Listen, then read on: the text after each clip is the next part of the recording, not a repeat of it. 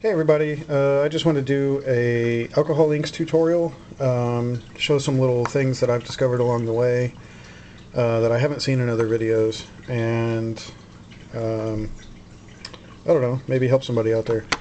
So, when I first started doing it, I went on YouTube and I looked at a bunch of videos, and it seemed like all of them use the exact same process and end up making the exact same things, which they're not bad, uh, but I think they're kind of juvenile. Um, you, you know, usually just big blobs of color and they swirl it around a little. And this is pretty much what you end up with, you know, stuff like this. Which is cool and everything when you first get into it, but I wanted more. I wanted to be able to do tighter textures um, and just really bring out the uh, some of these nice little things that you see down here I wanted to do in larger areas. Uh, so what I'm going to do is actually walk through the entire process of doing a tile from start to finish. Um, show you the tools that I use, the techniques that I use, and we'll see what happens. If it turns out horrible, uh, I apologize. Okay, the first thing I do um, if you go and you watch videos, most of the tutorials, they just take the inks and they'll just put drops on here, maybe draw some squiggles, stuff like that. Um, and then they'll grab another color and do the same thing again. And that's how you end up with those tiles that I just showed you.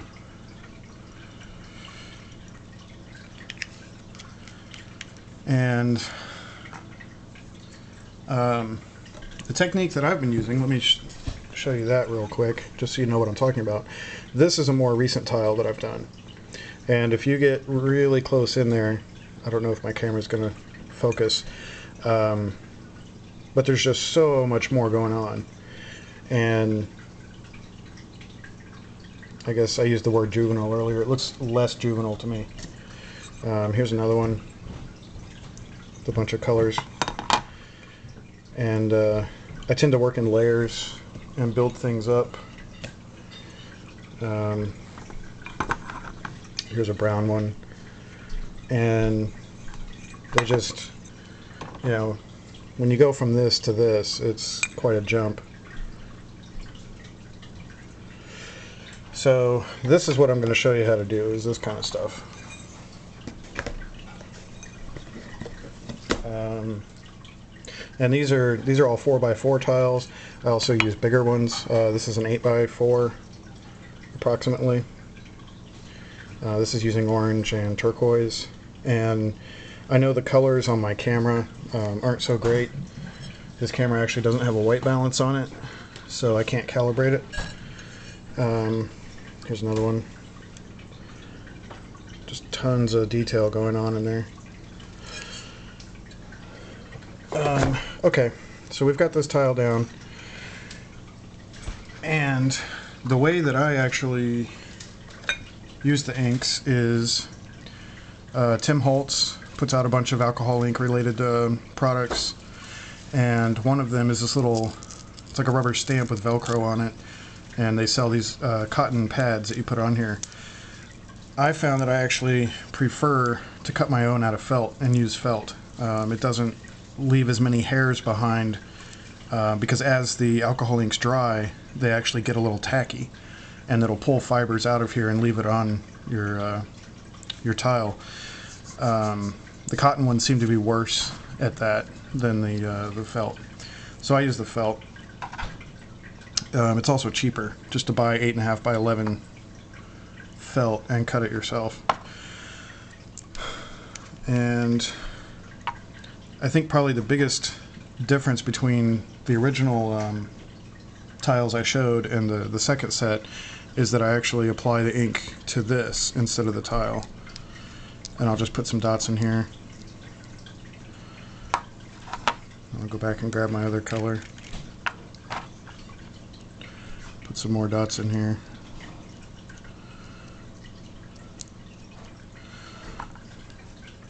And now when you stamp,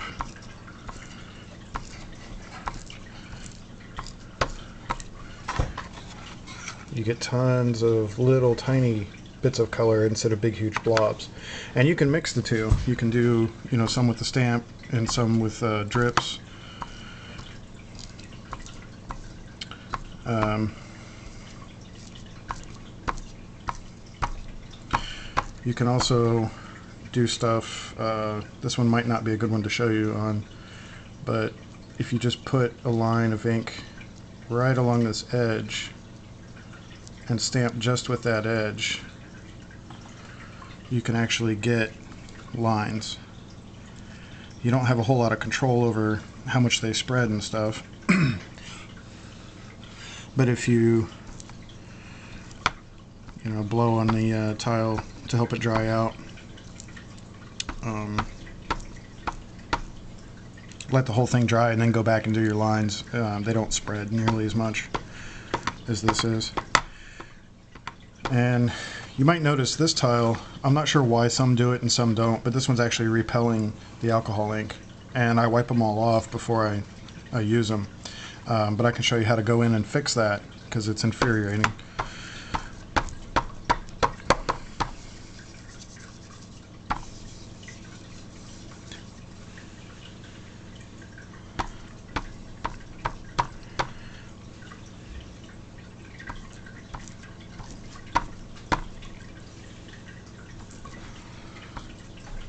This one's actually really bad. Sometimes you just got to throw the tile away. Um, unless you like the white. So we'll come back to this one.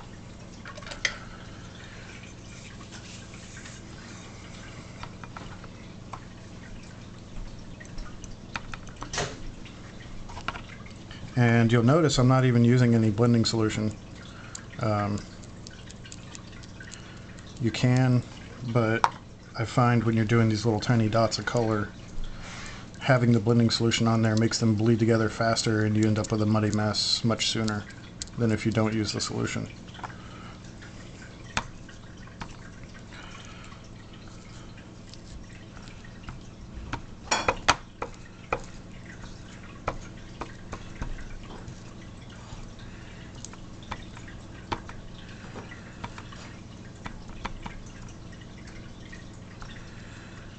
And I've been into alcohol inks for, I don't know, probably two months maybe. So I guess in the grand scheme of things, I'm still pretty new at it.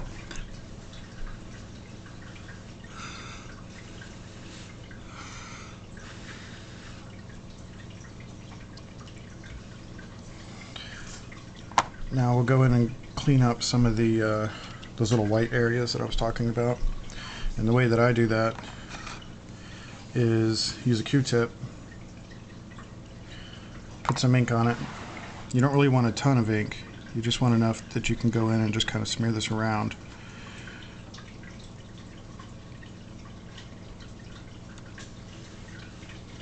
And what you can do is uh, by blowing on it, you know, it'll dry really quick because you're not putting much ink at all and then you can go back and add more on top to darken it up a little bit.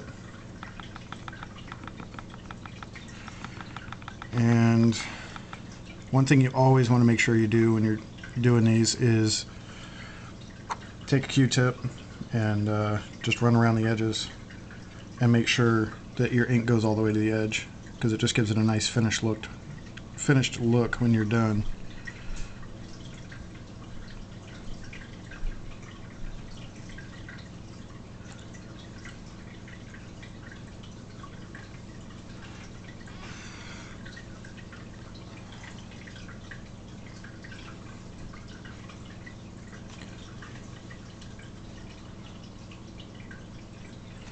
I can't see the camera at the moment so I don't know how this looks on screen um, as far as oops got a little much on there.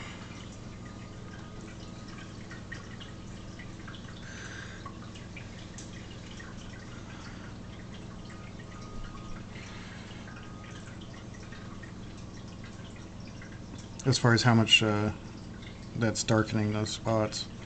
Um, but in person it's it's pretty close to white, but there's enough color there that it's not super bright white.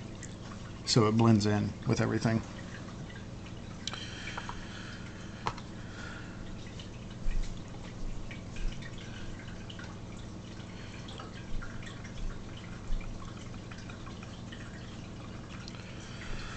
So that's the process I use and then we can still go back and if we want to add some of those really small tight circles in here we can just put some dots. And then just very lightly and quickly just kind of touch it here and there.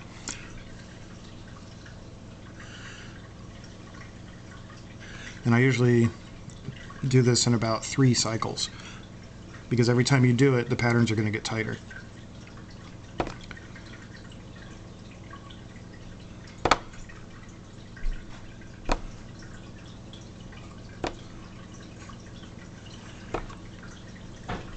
If you hear the water running in the background, that's the uh, fish tanks.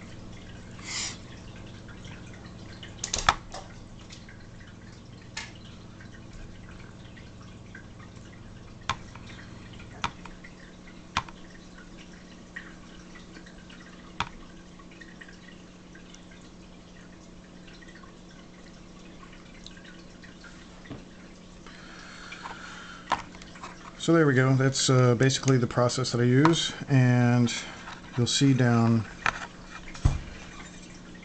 down here in this corner, um, we've got that really tight patterning. And uh, to do ones like this, I just did it all over the place uh, with several different colors. And there's pro uh, probably three or four uh, trips across with different colors um, on the stamper. Um, so there's a flower one.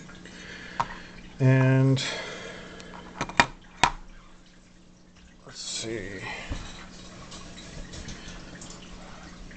Now the way that I finish these is I spray them with uh, polyurethane in a spray and you want to put something under it so that it's held up um, off the surface that you're that you've got it sitting on.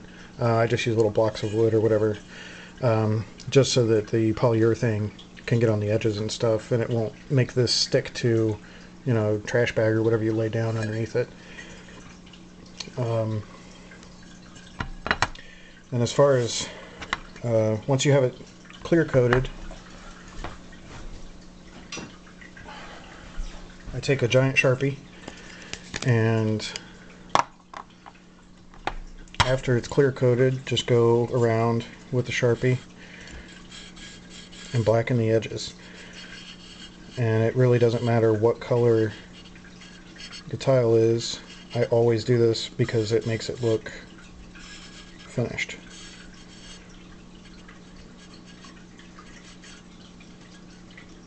So you don't just have raw tile on the sides and usually I'll have to go all the way around twice.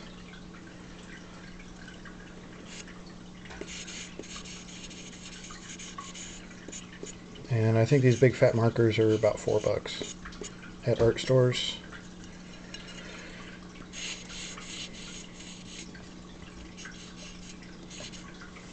And you can see that that looks a lot better than that. So Always finish your tiles.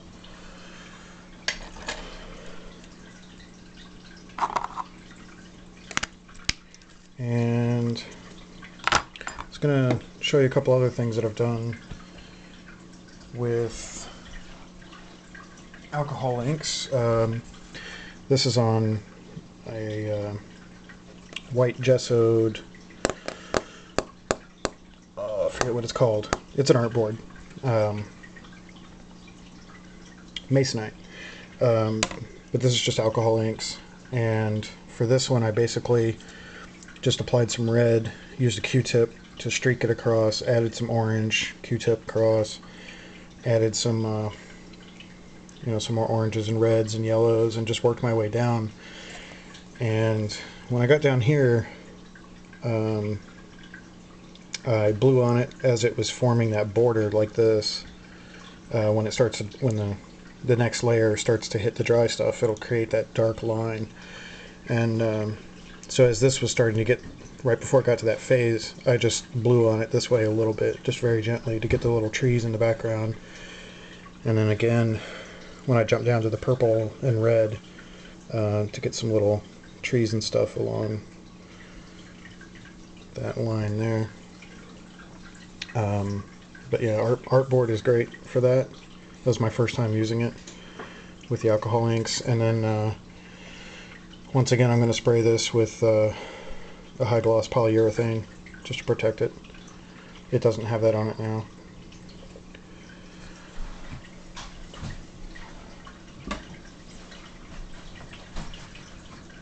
And then I was at uh, Joann Fabrics the other day and they had clearance picture frames. So I got 10 of them for 21 bucks, which was a pretty good deal. So for these, I actually just take the frame apart, pull out the glass, and I do the image in reverse on the glass. And alcohol inks work great on it. And then I take the uh, the piece of paper that comes in the frame that says the size and all that and has a stupid sample picture. I just flip that over, and it gives a solid white background. Um, so that once the light goes in, hits the white, bounces back out, um,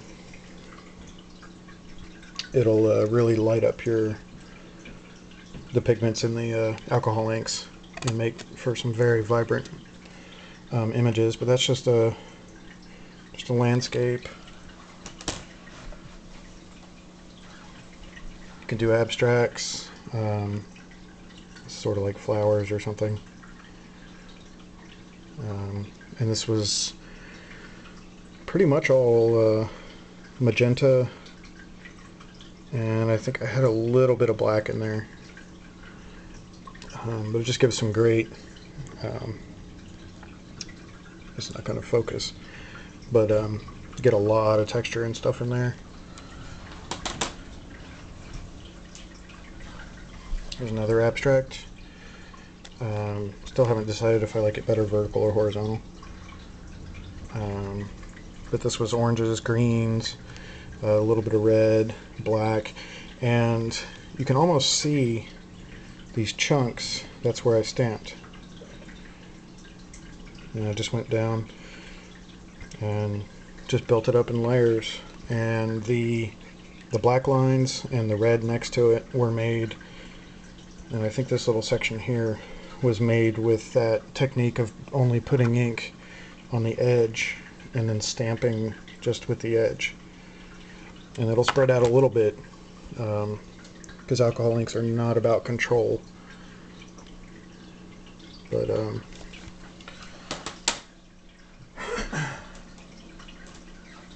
and since the uh, those were all just with white paper and I figured I would try printing out images um, so I found this tree and um, just printed that out on white paper. It's just a black tree white paper. Uh, I did take it into um, Illustrator and I faded out the bottom of the tree and then printed it out and and just did my browns and oranges and some green. And uh, it's pretty cool because you can have really sharp detailed line work and stuff um, on your paper.